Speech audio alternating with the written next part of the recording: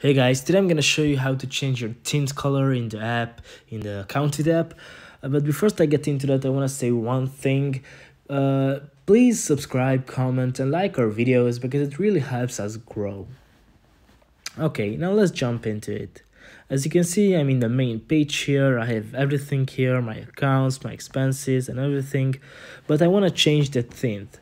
Uh, what you want to do is click on the little settings uh, button in the top left corner. Uh, uh as you can see there's a settings little icon click on that. After that click on the tint color the second option.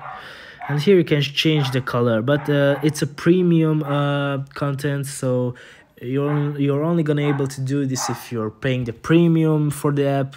But yeah if you pay for it you can change you can change all of your colors. Okay guys see you in the next one